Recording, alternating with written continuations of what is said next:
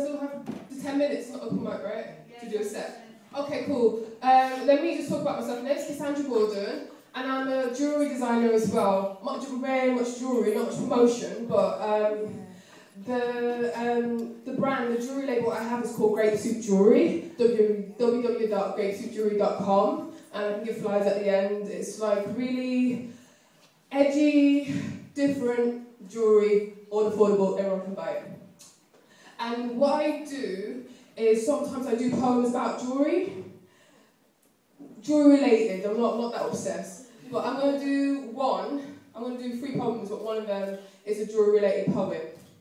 Okay? And it's one, it's called War Paint, and it's one of my jewellery collections. So when you see, when you go online, you'll see how it corresponds. Okay? Hot, flaming crimson. Part of my disguise. I wear it loud, like a crying out siren, giving you warning to let you know that I'm on it, that I'm ready. My sultry, rude lips is also a weapon, a silent, deadly killer. It only takes one touch to execute you, but wait for you to make the first move. I'm so impatient, it's so frustrating, just like not having sex in four to five months.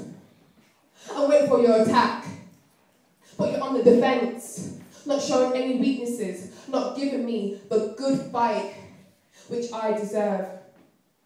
Then I think to myself that nothing is fair in love and war. I know it's not fair, but what about humanity? My feelings, my urges.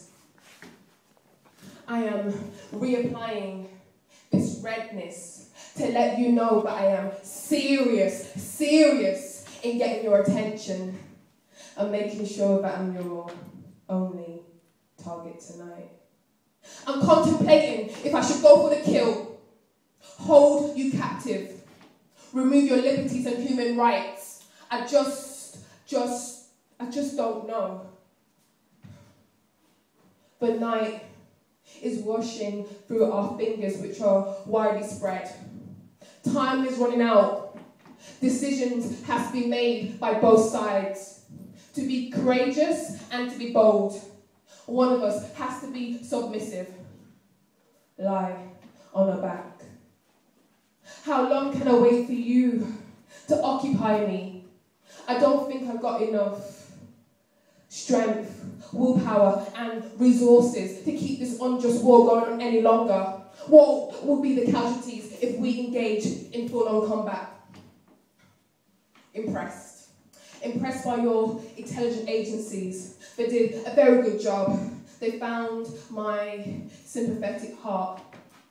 Being perceptive of other people's feelings and being emotional is not a desired attribute in warfare, especially if you want to keep your life. Being heartless, cunning, remorseless is great, but um, I'm just not either of these. The fire of my burning scarlet lips has been blown out when you beckon me to come closer to your base.